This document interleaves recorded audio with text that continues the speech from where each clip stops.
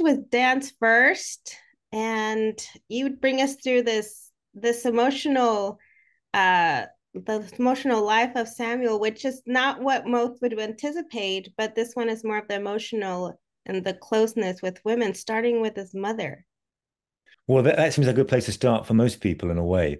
Um, but yes, I mean, what's surprising about Samuel Beckett, if you, you know, he's an author that sort of has a lot of cliches around him, if you like, and and his work is quite minimalist and quite stripped down, and not a lot, happens in his work. You know, Waiting for Godot is the one that most people know either directly or indirectly, and you know, most people know about that play is that nothing happens twice, basically on two days. And but his life is absolutely full of incident and drama and episodes and and you know sort of tormented love affairs and he was in the french resistance and he was stabbed by a pimp for no reason. So you know his work is there but his life is full of drama. So his life story is surprisingly rich uh, in a ways you aren't expecting when you think about his work and also the kind of later beckett you know who lives in paris who's very intellectual and writes in french and on and on. So that was that was i found firstly quite intriguing was this sort of this very rich, very dramatic life, with the work being very sort of self-contained and very dry. So that was intriguing, and and the film really is focused on his life, not his work. Uh, for, for, those who find Beckett's work daunting, as I did, that might be quite a good a good thing to know you know, it was kind of fun to see Suzanne being there with him and they're being there and encouraging him. And it makes you wonder what if Suzanne hadn't been around at the right at, at the time and place to encourage him to continue. Well, indeed, that's something that he himself acknowledged, you know, that that she was a really important force in his life and his work. She really, when he when no one wanted to read what he was doing, she was actively trying to, you know, get his work to publishers, support it. So she was a big part of his sort of literary success, if you like, because she believed in him and she always did, even if they had a very difficult marriage. And as you see in the film, it gets quite complicated. Uh, when he gets entangled with a mistress and he was wasn't always faithful to her. And so that complication is part of the you know the sort of drama of the story but she's a really interesting character in her own right and we had the great sort of I had the great privilege of of working with Sandrine Bonnaire, who's a a very brilliant French actress who I was dying to work with. I I thought there's no way she'll want to do this, but I might as well try. And she did, did want to do it, and so that was very helpful to me to have such a great actress who I'd long admired. Because she's not so well known in international cinema, but she's very well known in France, and she's made some films that you know certain people will know. I think in America as well. Um, that was a great choice to have her playing, um, you know, the other major character in the story, which is, as you say, Suzanne, his his wife. But I enjoyed the dialogue and the words used, and, and he's like, "Well, I like to call it magically mad, a magical yeah. package." So I, I found a little bit of a little wit around the film, which I found that very, very creative in the writing. Yeah, so I think it was it, you know, the thing about Beckett. Most people, it, some of it's quite funny. You know, when when his plays are staged correctly, particularly with Irish actors, they can be quite funny. But he's not known to be a barrel of laughs. But actually, I think the script is a kind of lighter, more playful sort of undertaking than you might expect for the life of Samuel Beckett. It's not supposed to be a a serious, earnest sort of account of his literary achievements. It's a playful account of a very dramatic life which you don't really expect to find in the writer of his of the kind of work that he he created. Now tell me about doing the film and and black and white until La Fin, the where we have some color.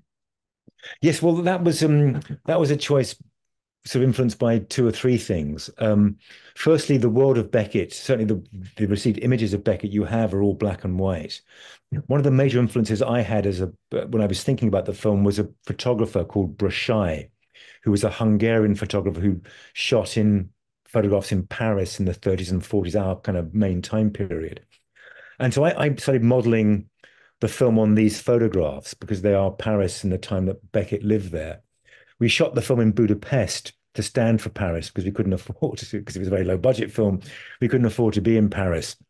So I felt that for all these reasons, that black and white would be a, a good choice for the main part of the film. And when it, the film catches up with itself and becomes a present tense 1980s experience for when Beckett's an old man, essentially, with his wife and mistress on the go, it then flips into color for the final sort of episode, which is in the late 20th century.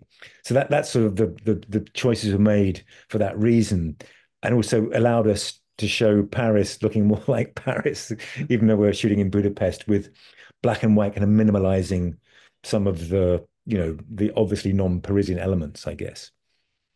And tell me about the about choosing the the proper, the correct young and older Beckett, because that must have been, you know, a major task.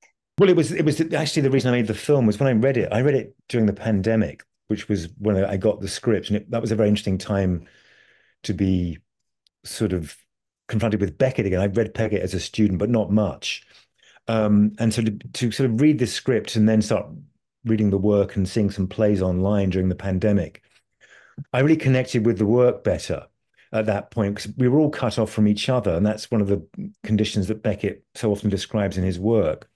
So I thought, well, who can do this? Who can play Beckett or Beckett times two? Because there's two versions of the same Beckett. Well, there are actually four versions of Beckett, just to confuse everyone, not know what the hell I'm talking about. So I thought the, the, the first choice I had was was Gabriel Byrne. That was the only choice I only thought I ever had about the, was it was Gabriel.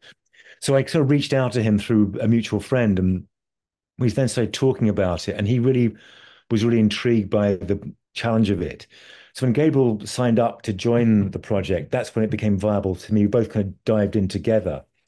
And then I, I had to look for the younger version of Beckett because some of the film plays out in his younger life when he's in the French Resistance and when he's stabbed and gets involved with various women. Um, and so again, I was looking around to see who might be the you know a good candidate for this, and then I was pointed in the direction of a young actor called Fionn O'Shea, who'd been in Ordinary Normal People. I always get this wrong. Normal People, the Sally Rooney adaptation, playing sort of the female character's sort of boy, boyfriend who's really not very nice and very unpleasant, and he's very striking in that. And the thing about Fiona is he's very he's a really good actor, but he looks just like the Samuel Beckett, you know, young Samuel Beckett. If you see a photograph of Fionn as we've styled him and Beckett, you really can't tell them apart. That was really helpful because Gabriel doesn't look a lot like the older Samuel Beckett. It's, that's more of an interpretation, but Fionn did. And so when I met him, he was full of it. He really wanted to do it. He knew Beckett quite well. We spent some time together in Ireland, going around Beckett's sort of neighborhood in Foxrock, which is outside of Dublin, and sort of steeping ourselves in the world of Samuel Beckett. And so Fionn was was an obvious choice, but a very good choice. And so that that's how that came about was firstly his talent, and secondly, well, guess what? He looks just like Samuel Beckett as a young man. Brilliant. And speaking of the four Becketts in the film, um, can you talk about a little bit about the other world? And was that the original plan, or did that was that a touch to make bring more of the the sentimental side of him? Well, that's a construct. The film has a construct in it, which where you see Beckett in very late life uh, meeting an alter ego who's also Samuel Beckett and having an ongoing dialogue with him about his life. And and basically, what they do is they review his life through the lens of his mistakes and the things he's most ashamed of and most guilty about. So that that's the framework for the film is the two Becketts talking to each other and trying to kind of figure out, you know, how shameful should he be? You know, how how bad was it? So that so we dip in and out of this conversation between these two Becketts whilst he, the life story unfolds around that conversation. It, that sounds kind of baroque and quite confusing, but it's quite simple in the film if you go and see it. That's right. I think it's kind of like the conversations we have with among ourselves in our head, right? About the exactly, well, that's exactly right. Exactly how I how we discussed it. That kind of dialogue you have with yourself, you know, with your inner voice, and your inner voice is, can be critical, it can be supportive. Mine is often quite critical. You know, it's kind of you know, it's the one that torments me. And Beckett's is too. It's kind of like that critical voice in your head, made flesh, made real, embodied in, you know, a, a facsimile of yourself, essentially. And what were one of the scenes that you shot that you were really looking forward to when you first read the script? Well, I wasn't looking forward to doing those scenes because they're quite difficult. This is when you have to shoot the same actor twice, you know, and you so Gabriel played both versions of this Beckett. Um, I kind of enjoyed the scenes between Sandrine Bonnaire and Gabriel. Not going into the script, but as they as I began to start working with Gabriel and Sandrine, I thought this is going to be interesting, and it, so it proved. So those scenes between them, uh, Sandrine Bonnaire is a very sort of well-known French actress. Certainly in France, she's very well known.